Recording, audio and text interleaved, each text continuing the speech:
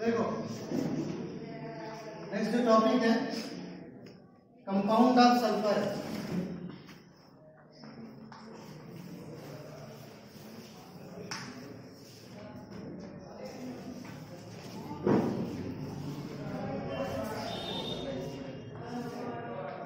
है ना? Compound of sulphur sulphur में सबसे पहला कंपाउंड देख रहे हैं हम लोग। Sulphuric acid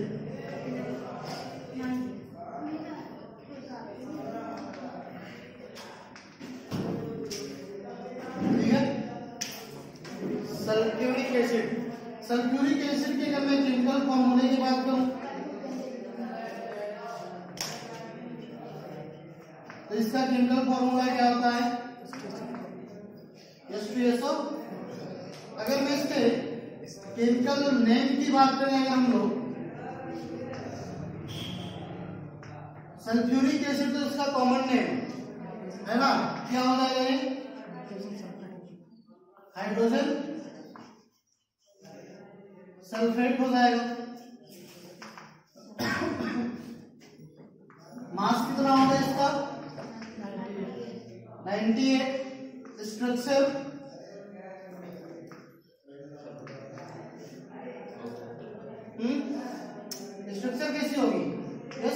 बॉन्ड हो कोऑर्डिनेट बॉन्ड ओ और bond O H A also bond क्या इसको हम इस तरीके से भी रिप्रेजेंट कर सकते हैं।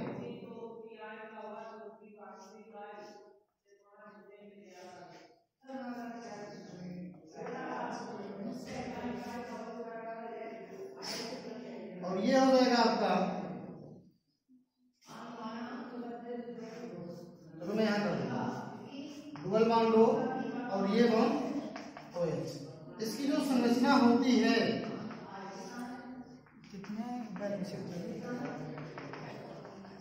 ये उसके जैसे होते हैं टेट्राहेड्रल शेप होती है है ना? क्या होगा? टेट्राहेड्रल शेप होगा इसका ठीक है? तो ये स्ट्रक्चर होगी इसकी अभी तो नेक्स्ट बात करते हैं प्रिपरेशन की प्रिपरेशन ऑफ़ सल्फ्यूरिक एसिड ठीक है प्रिपरेशन ऑफ़ सल्फ्यूरिक एसिड तो देखो सल्फ्यूरिक एसिड की अगर मैं प्रिपरेशन की बात करूँ तो इसका प्रिपरेशन मेनली दो तरीके से किए जाते हैं। पहला जो है कॉन्टैक्ट प्रोसेस है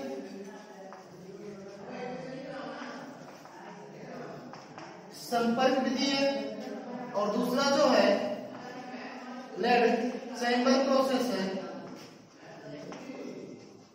सीसा कच्छ विधि तो इन दोनों विधियों से हम लोग क्या करेंगे?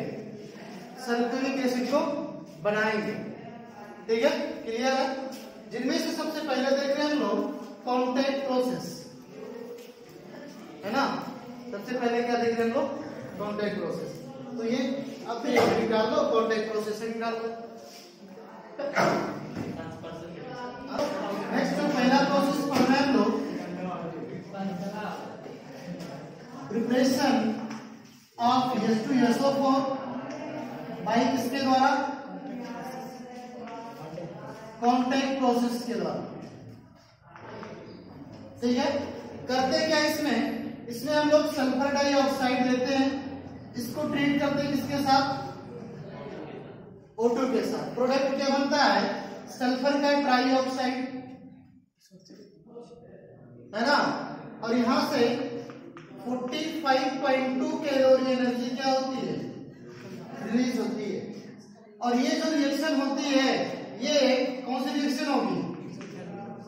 एक्सोथर्मिक रिएक्शन होगी। उष्मा की अक्रिया होगी। ठीक है? अगर मैं, ये आपका रिएक्टेंट साइड है, और ये आपका क्या है? प्रोडक्ट साइड है। रिएक्टेंट साइड में SO2 और O2 की मोलर सांद्रता देखें। अगर मैं बैलेंस करूँ, इसे यहाँ टू कर दूँ तो यहाँ कर दूँ। तो यहाँ इसकी मोलर सांद्रता तीन होगी, क्योंकि दो मोल सल्फ़र डाइऑक्साइड और एक मोल मैंने क्या दे रखा है? और यहाँ पर मोलर सांद्रता इसकी कितनी होगी? यानी अगर मैं अभिकारक से उत्पाद पक्ष की ओर जाऊँ तो कॉन्सेंट्रेशन क्या हो रही है? बढ़ रही है कि कम हो रही है? कम हो रही है। यानी टेम्परेचर को अगर डाउन किया जाए तो प्रोडक्ट ज़्यादा मात्रा में बढ़नी चाहिए। लेकिन जब टेम्परेचर को डाउन किया जाता है तो प्रोडक्ट बनने की रेट क्या हो जाती है? कम हो जाती है। इस रेट को बढ़ाने के लिए हम V two O five catalyst का क्या करते हैं लोग? यूज़ करते हैं लो टेम्परेचर पर बी टू फाइव का यूज़ करके हम लोग सल्फ़र ट्राईऑक्साइड क्या कर लेते हैं? बना लेते हैं, ठीक है? अब ये वेनेडियम पेंटाऑक्साइड वेनेडियम पेंटाऑक्साइड है ना? अब ये जो सल्फ़र का ट्राईऑक्साइड है, ये सो ठीक है? इसका जल अपघटन करा देते हैं हम लोग। ओलियन मिलता है, मिलेगा अपने को। सॉरी जल अपघटन नहीं एस टू एस फोर के साथ रिएक्शन करा लेते हैं। ठीक है तो मिलेगा S two S two O seven नाम इसका क्या है? ओलियम है। ठीक है, अब इस ओलियम का S two S two O seven का जल अपघटन करा दे हम लोग। प्रोडक्ट क्या मिलने वाला है? S two S O four ठीक है? प्रोडक्ट क्या मिलेगा? S two S O four तो इस तरीके से हम लोग सल्फ्यूरिक एसिड को क्या कर लेते हैं? प्रिपेयर कर लेते हैं। ठीक है? आप इसे कॉपी करो, फिर हम लोग प्रोसेस देखते हैं। देखो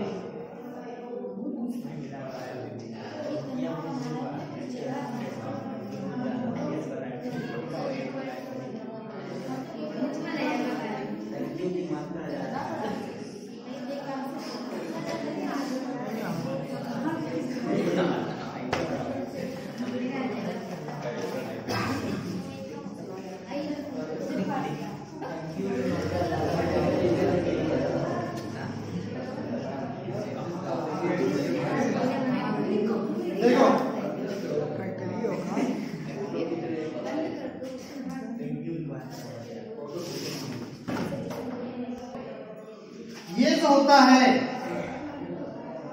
ये जो चैम्बर होता है इसे हम लोग पाइलाइट या इसी को हम लोग बर्नर कक्ष बोलते हैं। ठीक है? यहाँ से सल्फ़र और वायु के मिश्रण को या आयरन पाइलाइटिस और वायु के मिश्रण को क्या किया जाता है इसमें? डाला जाता है। जब ये यहाँ पर जाते हैं तो ये रिएक्शन कर लेते हैं यानी सल्फ़र। ऑक्सीजन से रिएक्ट करता है तो सल्फ़र का डाइऑक्साइड बना लेता। है ना?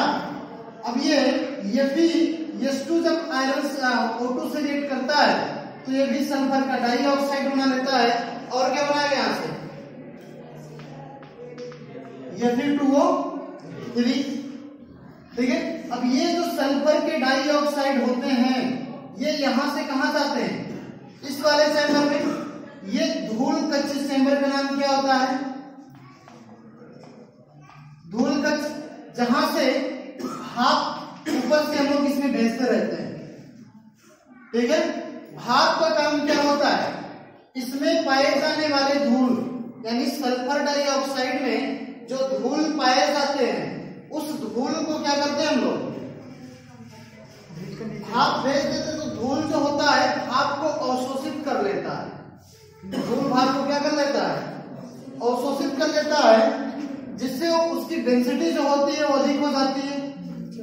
उसकी डेंसिटी अधिक होने की वजह से वो नीचे क्या हो जाती है? बैठ जाती है। यहाँ से जो बचा हुआ सल्फ़र डाइऑक्साइड जाता है किसमें? ये आपका धावन कक्ष है। धावन कक्ष में ऊपर से पानी गिरते रहते हैं। धावन कक्ष में ऊपर से क्या होता रहता है?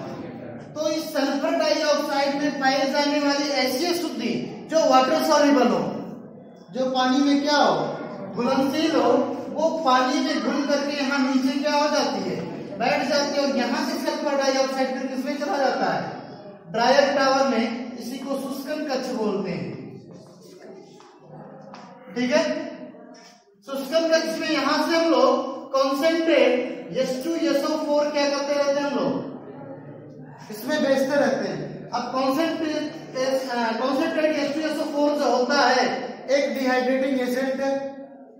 डिहाइड्रेशन का काम करता है। यानी ये इस सल्फ़र डाइऑक्साइड में उपस्थित नमी को एब्जॉर्ब कर लेता है। नमी को क्या कर लेगा ये? एब्जॉर्ब कर लेगा और यहाँ से जो सल्फ़र डाइऑक्साइड बचता है, उस सल्फ़र डाइऑक्साइड में आर्सेनिक की अशुद्धि मिली होती है। तो यहाँ पर आर्सेनिक कक्ष होते हैं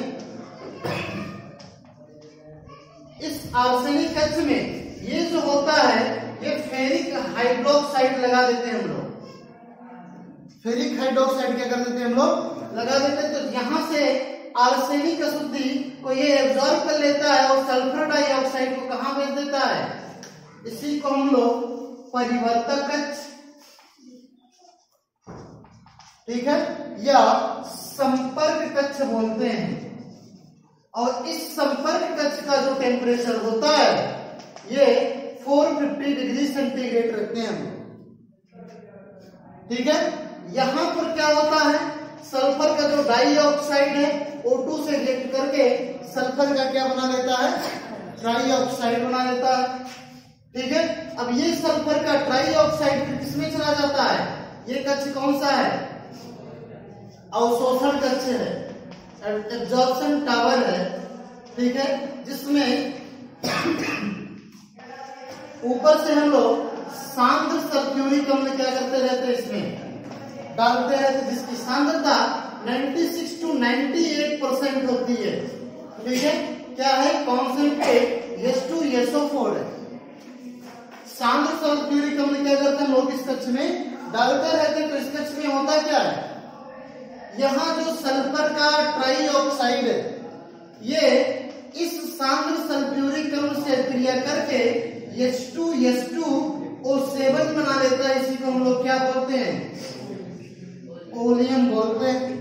अब ये जो ओलियम है, इस ओलियम का हम लोग क्या करा दें जल अपघटन करा दें तो बनने वाला प्रोडक्ट क्या होता अपना? सल्फ्यूरिक एसिड H2SO4 हो जाता है। इस तरीके से हमको H2SO4 संपर्क विधि द्वारा क्या होता है। प्राप्त होता है बार। देखिए आप लोग, हम हम लोग यहाँ पर पाइलाइट या पाइलाइट बर्नर टेस्ट क्या करते हैं यदि एस टू ओ टू या एस ओ टू के मिश्रण को बेचते हैं। ठीक है? जो क्रिया करके क्या बना देता है। सल्फ़र का डाइऑक्साइड और ये सल्फ़र का डाइऑक्साइड सबसे पहले कहा जाता है, धूल कक्ष में। धूल कक्ष में ऊपर से भाप को हम लोग क्या करते रहते हैं, इसमें भेजते रहते हैं। तो भाप जो होता है, ये जो धूल होते हैं इस सल्फ़र डाइऑक्साइड में, उस भाप को अवशोषित कर लेते हैं, जो भारी हो जाते हैं। भारी होकर के नीचे क्या हो जाते हैं? बैठ जाते हैं। सल्फ़र डाइऑक्साइड की डेंसिटी कम तो उस, ये जो होते हैं, शीतलक पाइप होते हैं। ठीक है? शीतलक पाइप होते हैं जो कि कांच के बने होते हैं। मतलब यहाँ टेम्परेचर काफ़ी लो होता है। तो यहाँ सल्फ़र डाइऑक्साइड में जो नमी होती है, या जो अशुद्धि होती है इंसॉलेबल वो यहाँ जाती है। और ऊपर से हम लोग वाटर को इस कक्ष में क्या करते रहते हैं? भेजते रहते हैं। तो ऐसी अशुद्धि जो पानी में घुलने लायक होती है, वो पानी में घुल जाती है और नीचे बैठ जाती है सल्फ़र डाइऑक्साइड और नमी कहाँ से ली जाती है? यहाँ शुष्कम टेस्ट में हम ऊपर से कॉन्सेंट्रेट H2SO4 गिराते रहते हैं। है ना? मैंने आपको बताया कॉन्सेंट्रेट H2SO4 डिहाइड्रेटिंग एजेंट है जो कि नमी को एब्जॉर्ब करने की क्षमता रखता है। तो वो नमी को क्या कर लेता है? एब्जॉर्ब कर लेता है और सल्फ़र डाइऑक्साइड को कहाँ भेज देता है? आर्सेनिक कक्ष में। आर्सेनिक कक्ष में आर्सेनिक उपस्थित जो अशुद्धि होती है, वो दूर हो जाती है। क्यों? क्योंकि यहाँ पर हम लोगों ने क्या लगा रखा है? हाइड्रोक्साइड अब ये बचा हुआ सल्फ़र डाइऑक्साइड कहाँ जाता है? परिवर्तक कक्ष में यहीं पर B2 फाइव परसेंट होते हैं। टेम्परेचर हम लोग कितना रखते हैं? 450 डिग्री सेंटीग्रेड इस टेम्परेचर और इस कैटलिस्ट की प्रेजेंस में सल्फ़र डाइऑक्साइड किसमें कन्वर्ट हो जाता है? ट्राइऑक्साइड में। है ना? अब ये ट्राइऑक्साइड कहाँ जाता है सल्फ़र का? एब्जॉर्प्शन टावर में और सोशल टच में ऊपर से कंसंट्रेट H2SO4 हम लोग क्या करते रहते हैं इसमें जो सल्फ़र के ट्राइऑक्साइड से क्रिया करके क्या बना देता ओलियम और इस ओलियम का जब गठन करा दे तो बनने वाला प्रोडक्ट अपने क्या मिल जाता है? सल्फ्यूरिक एसिड मिल जाता है। तो ये पूरी प्रोसेस होती है संपर्क विधि द्वारा सल्फ्यूरिक अम्ल बनाने की। ठीक है? प्रोसेस ऑफ़ ट्रेडिंग डालने विधि। ठीक है? विधि में सबसे पहले क्या लिखेंगे हम लोग? पाइराइट या बर्नर टच ट्रेडिंग डाल करके इसका काम क्या है? इसमें कौन सी रिएक्शन होती है? ये करेंगे। तो पाइराइट कक्ष में क्या होगा? सल्फ़र या सल आयरन पाइराइटिस O2 से क्रिया करके सल्फ़र डाइऑक्साइड गैस क्या करेंगे। बनाएँगे। ये पायराइट बर्न पायराइट कक्ष का काम होगा। आप इसको थ्योरेटिकल तरीके से लिख देंगे धूल कक्ष में क्या होगा? सल्फ़र डाइऑक्साइड में उपस्थित धूल जो होता है, ऊपर से आने वाली भाप को शोषित करके नीचे बैठ जाता है। यहाँ से भाप कहाँ चला जाता है? दामन कक्ष का वर्ग लिख देंगे आप। दामन कक्ष का काम क्या होता है? ऊपर से पानी फुहारे के रूप में गिरता है, जिससे सल्फ़र डाइऑक्साइड में उपस्थित घुलनशील पदार्थ, अशुद्धि जो जल में घुलने लायक हो, वो घुल करके नीचे बैठ जाती है। यहाँ से सल्फ़र डाइऑक्साइड अब इसका कार्य आप देखेंगे। ठीक है? यहाँ पर क्या होता है? ऊपर से कॉन्सेंट्रेट एच हम लोग जाते रहते हैं। इससे नमी को एब्जॉर्ब कर लेता सल्फ़र डाइऑक्साइड फिर कहाँ चला जाता है। आर्सेनिक कक्ष का काम क्या होता है? इसमें फेरिक हाइड्रोक्साइड लगे होते हैं, जिसमें आर्सेनिक अशुद्धि दूर हो जाती है सल्फ़र डाइऑक्साइड से। सल्फ़र डाइऑक्साइड इसमें जाता है? यह संपर्क। इसमें कैटलिस्ट का यूज़ करते हैं हम लोग? N2O5 टेम्परेचर कितना रखते हैं? 450 डिग्री सेंटीग्रेड। रिएक्शन क्या होती है? रिएक्शन लिख देंगे आप लोग। ट्राइऑक्साइड बन जाता है उससे क्रिया करके। अब ये सल्फ़र का ट्राइऑक्साइड फाइनली किसमें जाता है? और सोशल कक्ष का कार्य क्या होता है? ये देखो, यहाँ पर क्वार्टर्स लगे होते हैं। ठीक है? क्वार्टर्स लगे होते हैं। ऊपर से क्या होता है? सल्फ्यूरिक एसिड गिरता रहता है। ठीक है?